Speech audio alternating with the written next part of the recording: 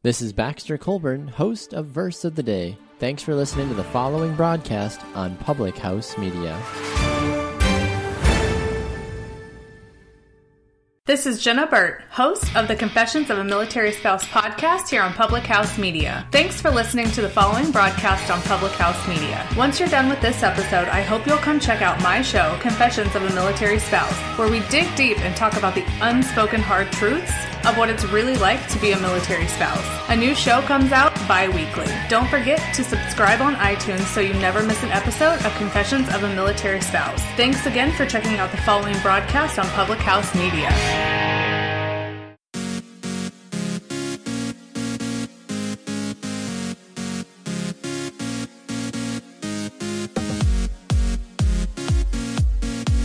By doing what you love, you inspire and awaken the hearts of others.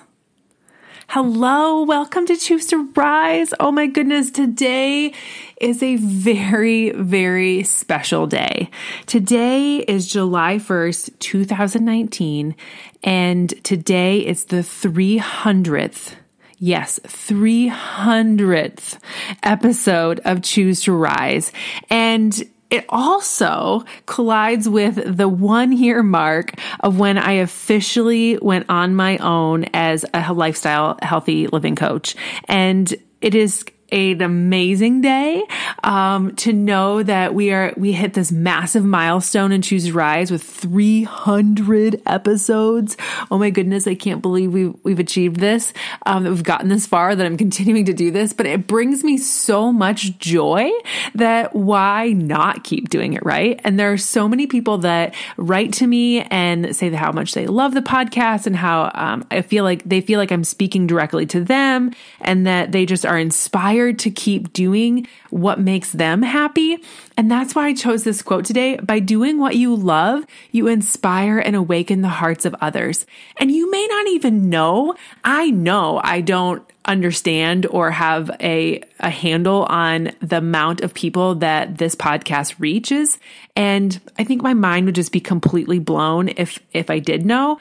Um, but I am just, oh my gosh, incredibly grateful incredibly grateful for the opportunity to come into your ears, come into your um, your podcast world and just to share with you, uh, you know, things that have worked for me in helping me grow in my faith and in my self care and in my life and the different things that have transformed who I am that can be resources and tools for you to do the same.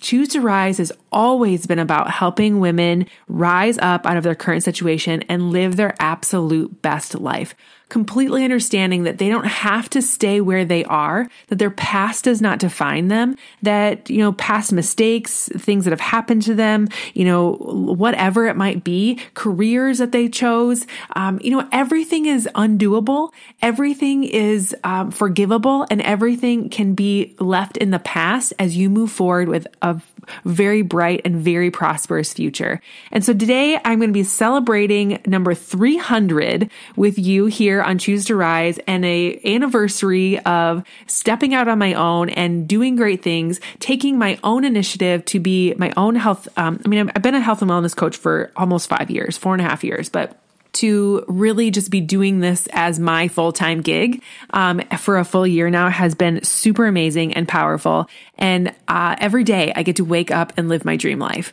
Every day I get to wake up and um, encourage people and support people and and help them live a better life with health and wellness and mindset, the most important thing, and uh, and just I'm just so grateful, so incredibly grateful. So thank you so very much for tuning in today. And I want to share with you some tips and strategies, some reasons why you should go for your dreams too. Um, I'm not saying you have to quit your job. I'm not saying you have to like go create a, a the massive side business and like go all willy nilly here. I'm just giving you 10 reasons why you should go after your dreams. 10 reasons why you should today Make a choice that you are worthy of the things that you want to do in this world. 10 reasons why you have the opportunity in front of you. You have the skills already inside of you. You have the gifts to give to other people. So I want to give you 10 compelling reasons why you should go after your dreams and let you know that it's never too late. I've been, I was in education for a dozen years, 13 years actually. And, um, actually July 1st is the first day that all of my licenses actually expire because I didn't renew any of them in this year. And so, um, that seems so mind boggling to me. And some of you that are educators that are listening are probably like, dude, what did you just do that for? But I have no intention of going back there. I am going places. I have a vision for my life. I know where I want to be. I know what fills my cup now. I have really dug into the personal development and to, into learning what the gifts God's given me and how I can use that to have a massive impact on other people. And so you know, education was a, a, fabulous career for me at the beginning and is for so many people. It's such a rewarding job, but it was, is not for my long haul, for me personally. And so I want to and I would just say that they, here are 10 reasons why you should go after your dreams too, whatever that might look like for you in this world.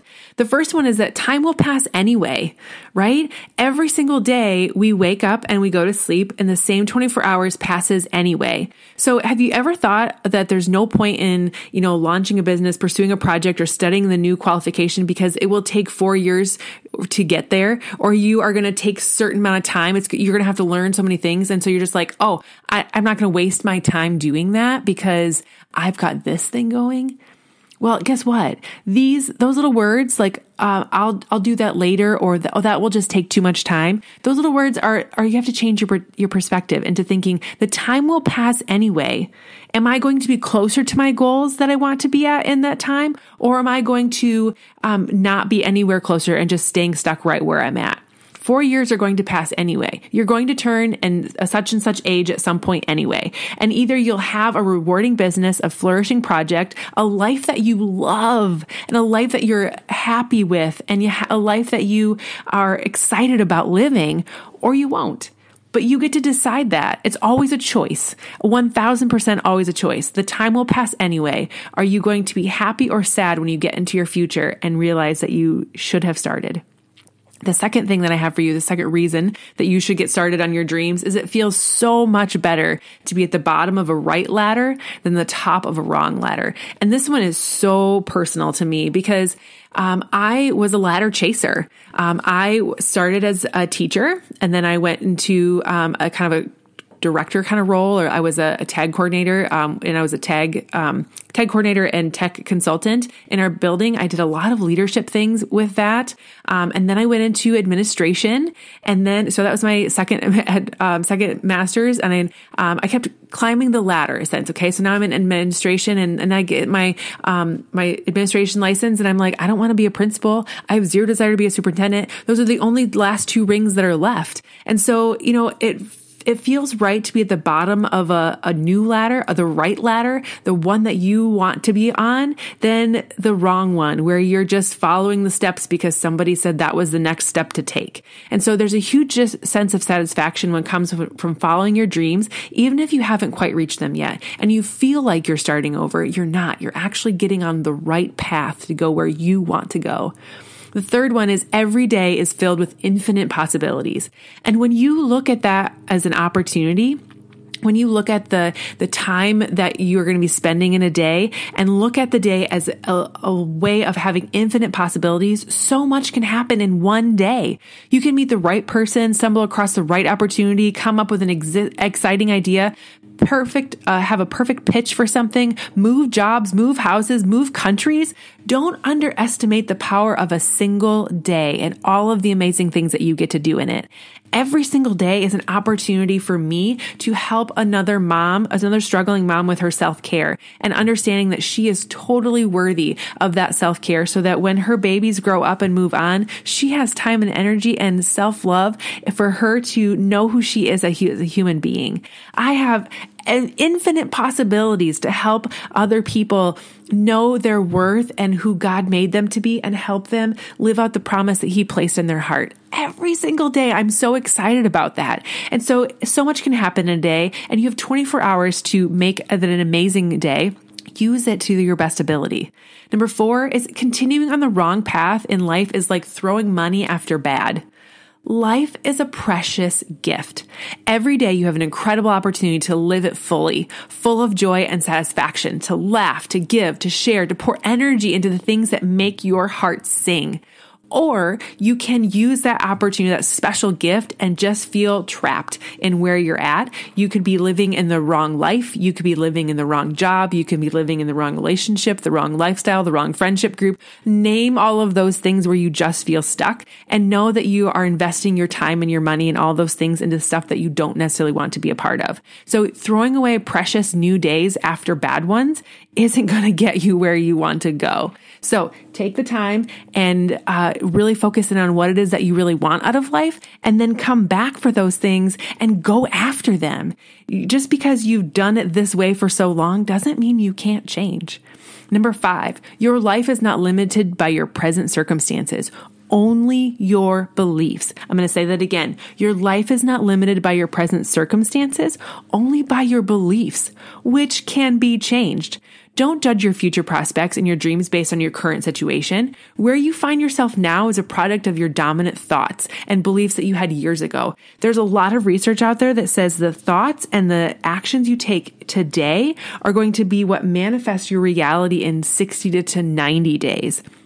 So if you're feeling stuck right now and unhappy with where you're at in your fitness and your nutrition and your mindset and your job and your relationships and whatever it might be, think back, reflect back about two, three months ago. What was life going on like then? What kind of stresses did you have? What kinds of things were going on in your life? What was it that you needed to kind of work through? And that those are the things that have gotten to your reality right now. So really start thinking about what it is that your dominant thoughts and beliefs are. And those kinds of things are going to, what's going to be start opening your mind to the possibilities for your life.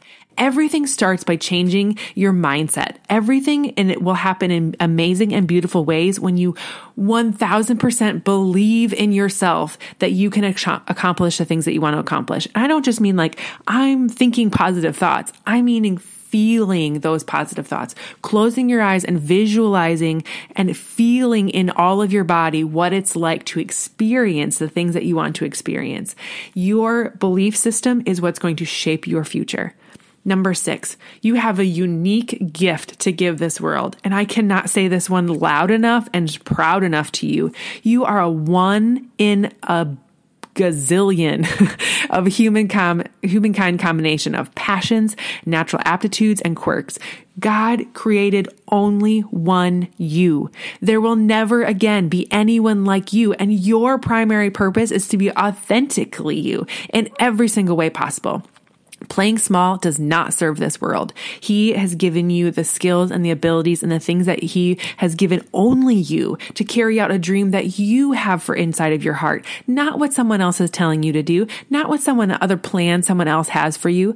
By working, eating, living, creating, indulging, and traveling in ways that feel so right in your soul, you are living in an alignment with who God made you to be. And that, my friend, that, my friend, is how you come alive. And then when you come alive, the whole world benefits.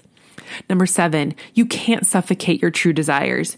You can sense when you're not living in alignment with your soul. You can sense when things are just not right. But even when something is even obviously wrong, you get this alarming sense that it's either the years are slipping by or like, oh my gosh, I have to do something. Like you can't suffocate your true desires. There's always going to be that little burning thing that comes up and says, there's something different for you. There's something different for you. And I think that's that little burning desire that kept pushing me up that ladder was that there was always like I'd get to a point and I'd be unsettled and I'd say, well, this isn't what I was going for. Obviously, the, I have this little ver, this little voice inside that says there's something more for you, and you keep moving forward. But I was going up the wrong ladder. I was going down the wrong path until I found this, where I get to come to you because multiple times a week I, I, get to pour into you on my social media and I get to support other women and encourage them and be a part of their journey with them. That's where I'm supposed to be.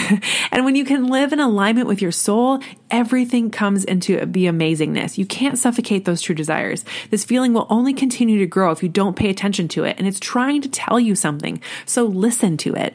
Number eight, a key aspect of happiness is having meaning and purpose. While happiness is a choice, 1000%, it's something that you can and should learn to tap into at all stages of your life. Going after your dreams adds a whole new element of fulfillment and satisfaction to your days. Knowing that you are created for more and living out the purpose that God created you for will only make you more happy, will only give you more joy, and it will give you a sense of fulfillment that you can get nowhere else. Number nine, you will build a deeper relationship with yourself. You are the only person that you will spend every waking and sleeping moment with you might as well get to know who you are and love that person hard.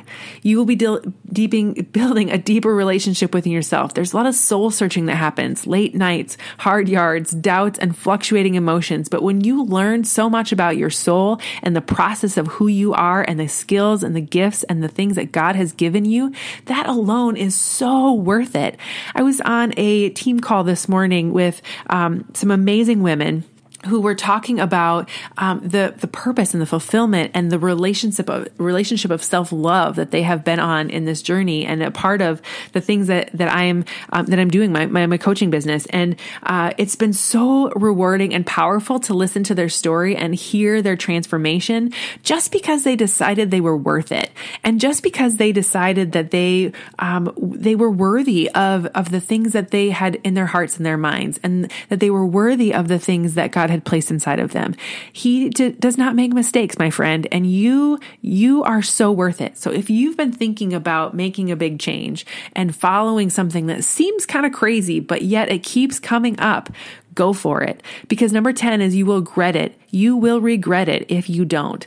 There are a million ways that you can uh, been follow your dreams and dabble in little things and learn a little bit more about it and really kind of confirm on the path that you're going in the right direction. But when a palliative nurse with over 15 years of experience started surveying her dying patients, and the, there's so much research on this that the dying patients and the top of their regret list, the number one regret is I wish I'd had the courage to live a life true to myself and not the life others had expected of me.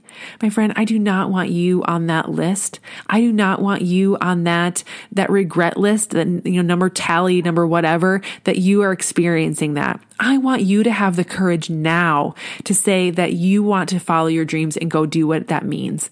Rise above the pressure to follow the status quo and the expectations of a very well meaning family and friends and people in your space. Creating a beautiful life that is true to yourself is 1000%, 2000% so much more worth it. So if you feel like you're living on autopilot, if you feel like you are, there's way more to your life than what you have right now, I would love to speak with you and encourage you and help you make your goals happen. Not only am I working in the area of health and wellness because that is such a major part in building confidence and being, being more of who you can be for others, but I also work in the lifestyle coaching realm and, and take on people who just want to talk about goals and learn more about those kinds of things. So you can head over to chooseriseup.com and learn more about what I do. Um, I also work with corporate wellness groups like workplace wellness and come into your organization and help you all think better and more positively and work on your health and nutrition so you can work better too. And it's just been so amazing um, of the impact that we can make here. And if anything, you walk away today, I hope that you feel empowered to dream bigger dreams, to rise up out of your current situation and live your absolute best life, the life that God created for you and that He's waiting for you to take hold of. You are wonderful, my friend. You are totally capable. And by doing what you love, you inspire and awaken the hearts of so many others. So thank you so much for joining me today on this 300th episode of Choose to Rise and this anniversary celebration of me taking my dreams on and being a part of something amazing and doing something that fills my heart and fills my mind. I know this episode was a little longer than normal, but uh, I appreciate all of you so very much. And I cannot wait to connect with you and hear more from from you and work with you if that's something that works out. Um, I feel so loved and supported by all of you every single day, watching you share my podcast on your social media, tagging me in it, and just helping um, other people hear this message because I really believe that God has has given me this opportunity to reach more people, and that's what we will always continue to do. So thank you so much for spending your time with me today and for always spending your time with me here on Choose to Rise. Um, I feel so honored and blessed to be a part of this. Thank you, Public House Media, for this amazing opportunity. And thank you, all of my listeners, for plugging in every single Monday, Wednesday, Friday, and following along the journey. I appreciate you all so very much. And um, I can't wait to come back to you for number 301 and beyond. Have a great day, everyone.